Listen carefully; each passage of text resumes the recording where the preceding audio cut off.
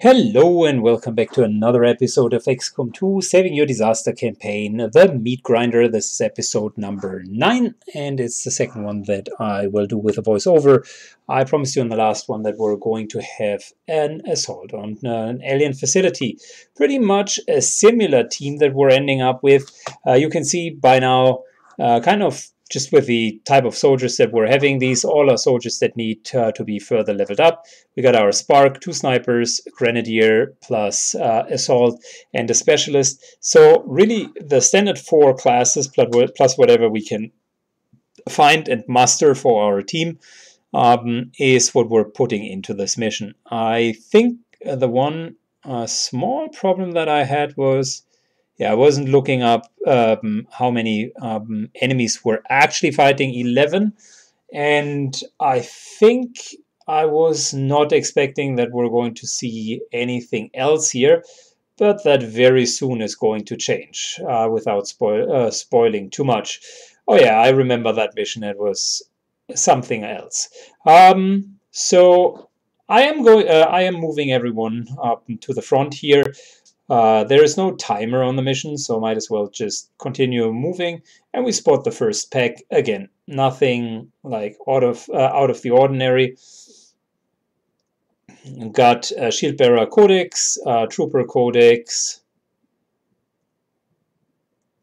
and that's pretty much the oh no, uh, and another um, uh, Priest plus um, Stun Lancer. So pretty much a standard uh, type of um, uh, three different patrols. I am still debating with myself whether or not to engage all three of them because it's only patrols of two so far, and overall it's only 11 um, uh, soldiers. And there isn't really that much that they could do against us. Using the high ground here on the right hand side with our snipers for some uh, nice um, uh, shooting angles and uh, trying to set up a crossfire. Now that all of uh, them are finally clumped up, I am debating whether or not you should start with a grenade and do a bit of a, I still remember, I do a little bit of a, a recitation that you shouldn't start with a grenade here because what's going to happen is if you were to start with a grenade, you would deal a lot of uh, upfront damage, but no one would die. Then they go into full cover, and that really stinks. So instead of what we're doing is we're using one of the snipers with the worst um, shooting angle taking out the highest priority target, which is the codex. Then afterwards, we're going to use our um, explosives to take away the cover. And I would say this is really textbook uh, 101 standard engagement. Start with uh, the uh, codex and uh, start with killing the highest priority target, then take away cover if possible, specifically if you have plasma grenades. Uh, try to shred the targets and um, use if possible, first of all, cooldowns. And once uh, that is no longer enough, you might as well switch and and take some uh, take some consumables. So what you see here is I'm using overdrive, and once overdrive is uh, almost done, and I have too much of an aim penalty, I'll just go in and uh, try to finish uh, the guy myself. Um, we are Yep, preparing to kill uh, the stun lancer. Then with death from above, uh, we're essentially using um, our plasma grenade, which, by the way, oh no, we're not. Oh, we're, we are. Sorry. We're using the plasma grenade, which um, shouldn't be on a sniper to begin with, but the reason why it's still there, uh, as you know, there was uh, not enough equipment at the beginning, so I just needed to scrape uh, scrape together whatever I could uh, take. Same principle as before, um, get rid of the cover, then move up and essentially hit and kill all of the enemies. You can uh, see with the remaining cooldowns, we're hitting the enemy quite hard. Not using the once permission cooldowns um, uh, like the teamwork, not if I can help it.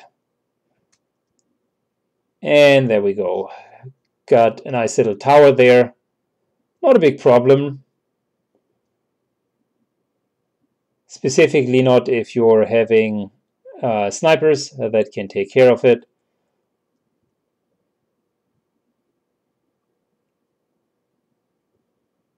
Yeah. So everyone kind of moves a, a, tiny bit forward. As you can see, we're not going any closer. Instead, we're just overwatching for now. There's no timer on this mission, so might as well take your time. Something that people are often forgetting to do is to reload uh, properly. And that leads to situations like having those uh, uh having those um, uh, prolonged fights, three, four, five um, rounds in, and everyone all of a sudden needs to reload. And that's really, really a big problem because there is such a thing as momentum in the game. And if you need to reload, that costs you a lot of actions. So pretty much um, a loss of momentum as you're going through that. So my suggestion is whenever you can, uh, that's lesson number two out of uh, this particular um, uh, this particular uh, video. Try to get um, a reload going. Same deal as before. We're using um, grenades to remove cover uh, and to shred uh, the um, the uh, gatekeeper. We're using our rocket launcher in the hopes of uh, hitting the tower up there. Unfortunately, that is not as simple as it might look. And I think I'm not going to be successful if I remember correctly. I was under the impression I could easily uh, shoot the grenade there, uh, the rocket there. Uh, that impression was wrong, so I wasted a turn. Um, even I uh, do have um, problems aiming uh, grenades from time to time. Still think uh, one of uh, the uh, weaker design concepts in XCOM 2, um, the ability to uh, to place grenades, sometimes a bit wonky, to say the least. So, moved over an action. I don't know if you have noticed it, but let's see that again. So uh, this here has to do with action economy as well. So here it is.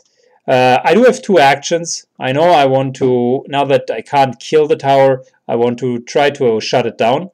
But uh, using that action right away would have essentially wasted another action. We do have a teamwork or an aid protocol though. So here's yet another tip um, from this uh, video really make sure that you're always using all of the actions available. I got a free action here um, on the Grenadier, which is absolutely fantastic. And we're using the um, protocol on top of it.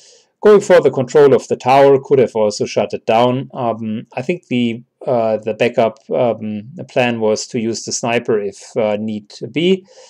And we're now in a situation where we really can engage the pack we know there's another pack kind of in the middle of the facility, so we don't want to go too close. But at the same time, um, if we do have a great position like that one here, uh, we're able to simply continue to shred the um, uh, the gatekeeper. We're going to use our newly found tower just to dish out some extra damage. And then with blue screen rounds, we are going to kill the gatekeeper. Good job.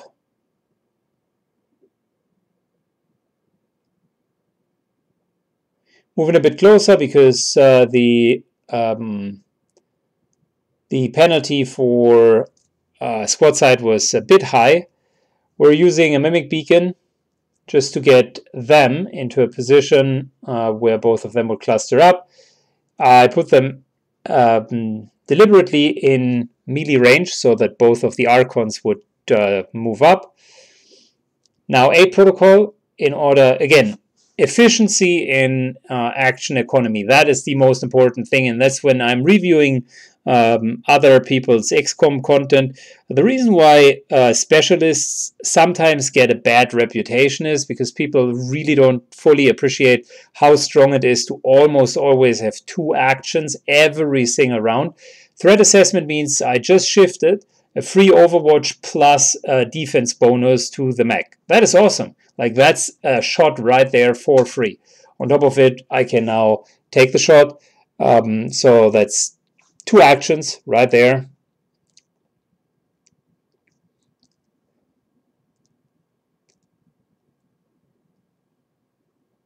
Good.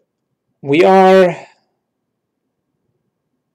trying to injure uh, the Archons, and as so often, I realize just how much I hate them uh, because uh, they do have a lot of defense, but they do uh, they don't have anything against shotgun to the face. Well, apparently they do. 96% chance, and they still they still um, uh, miss. There is a small piece of damage, but not a crit. They are the bane of the existence, uh, even in the end game. They are not easy to simply kill. So something like a pretty solid chance for ensured uh, damage, like with the strike, is helpful. Keep in mind they also can dodge, which just makes the whole thing that much more uncomfortable.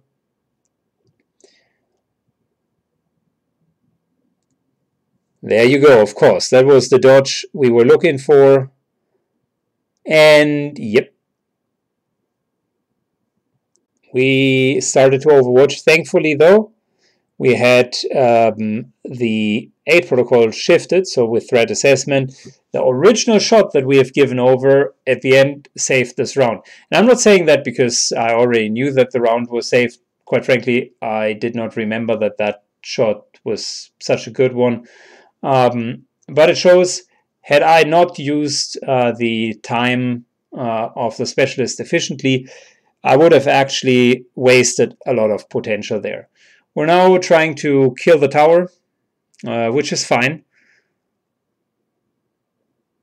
Getting everyone in a somewhat solid position there. Reloading, as I mentioned beforehand, you always want to reload. And then finally we finish off the tower, which is good. Um, new round, putting everyone into a solid position. I know that there is a pack in there.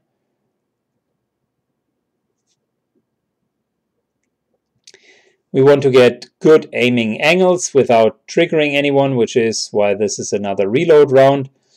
And we're overwatching. There's one more pack in there. And it's pretty straightforward. Opening the door, Surprise, surprise, yet another gatekeeper. Yep, there can be two of them per mission, which is fantastic. Um, yeah, best thing to do here is really to lob in a grenade, making sure that they are getting shredded as much as possible. The I decide that uh, the specialist will be the mimic beacon uh, thrower for this run. At least I think that that's what I decide. Oh yeah, I remember this. Overdrive. Um, in order to get some high ground and the pre-monitor tells me that I can see everyone. Once I was up there, I could only see two of them and not the um, not the gatekeeper, which was pretty disheartening, to be honest. I cursed a tiny bit. Moving up. And so we're using, I think, aid protocol again in a second.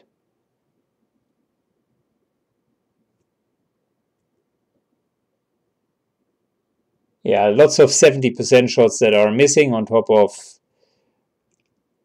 uh, on top of what we what we were trying to do beforehand. Luckily, the face off at least hit uh, a few of them. I'm thinking about using run and gun and just positioning ourselves in a smart um, in a smart way. Ended up with uh, deciding to go there. Bladestorm uh, would have killed this trooper, but I wanted to make sure that he definitely dies.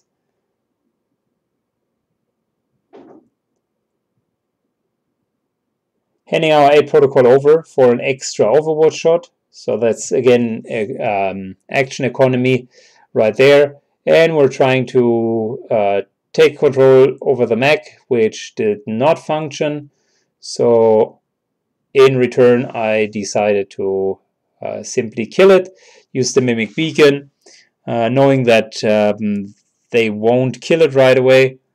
There is the original shot from the threat assessment aid protocol and both of them are essentially moving in. There you go. Mimic Beacon saved the day once again. This time I was way more careful because I wanted to make sure that we're definitely going to hit uh, the eyeball, um, uh, making sure that we can that we can and will shred it. And once that's done, we're using our uh, blue screen rounds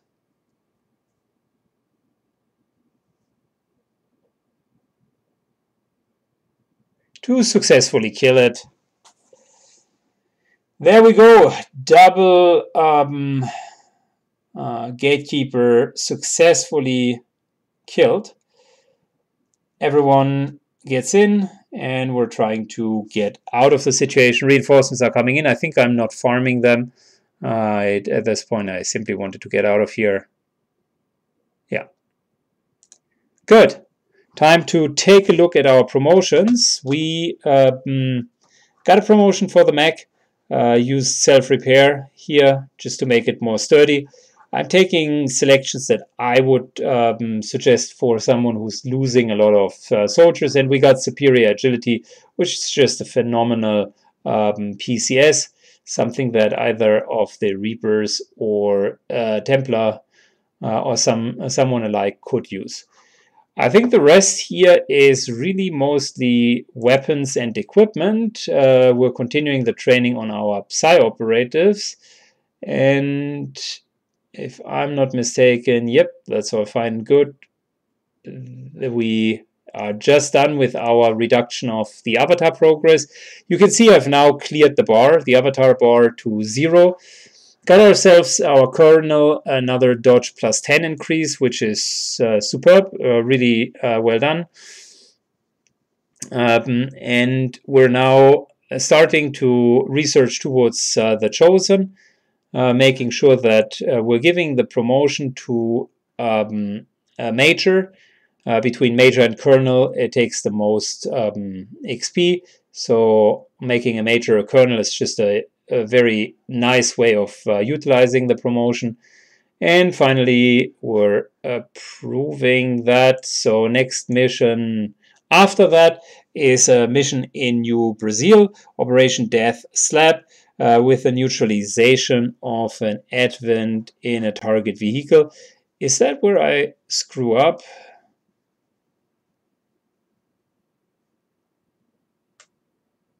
Not sure. I'm not sure if it was here, but I screwed up one mission, um, which I basically just continued to scan on the geoscape. It wasn't like a big deal, but um, it could have been this one here. I don't think that that, uh, that it was uh, this mission. Um, so yeah, the next one is a VIP rescue mission unless I, it is the one that I screwed up. I don't know. So I know that in one of uh, those campaigns I accidentally clicked the fast forward button and then the mission was gone. This brings us to the end of uh, this episode. Only a 20 minutes quickie. Um, we basically rushed uh, through um, the whole uh, deal, explaining what the thought process was and why I played the way I played. Relatively straightforward kind of mission with 11 enemies. Nothing really that difficult. Uh, the overall progress of the campaign is we almost have it stabilized. Um, if I'm uh, remembering correctly, there are two more missions after this to kind of get it to a fully stabilized uh, format. Uh, just relax, enjoy the show, guys. And if you ever uh, encounter a disaster campaign where you feel you cannot progress anymore, uh, please contact me. I would love to do another one. Uh, the hardest thing about disaster campaigns is actually getting them. Apparently, people uh, feel ashamed that they um, have not beaten the game and don't want to share uh, the game files, which is really uh, uh, which is really too bad because I think this year is uh, fun for everyone, including the person uh, that sent in the game file. You get a bit of a highlight on what worked well and what didn't, and I think there's a great learning opportunity as well. So if you do have material, feel free to send that in. Other than that, um, hit that wonderful, wonderful, beautiful subscribe button and see you all in the next um, mission. Take care and bye bye.